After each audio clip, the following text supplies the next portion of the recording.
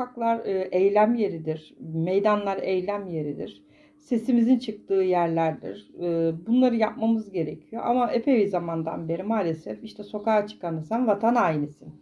İşte bilmem ne yapana sen teröristsin e, de- deyip susturulduğundan dolayı gazetecisi onsu busu susturulduğundan dolayı maalesef bir korku psikolojisiyle insanlar suspus olmuşlardı. Ama artık e, zannedersem o şeyi yırtıyoruz. Yani o perdeyi yırtmaya başladık. Ve demokrasimize, cumhuriyetimize gerçekten sahip çıkarız inşallah.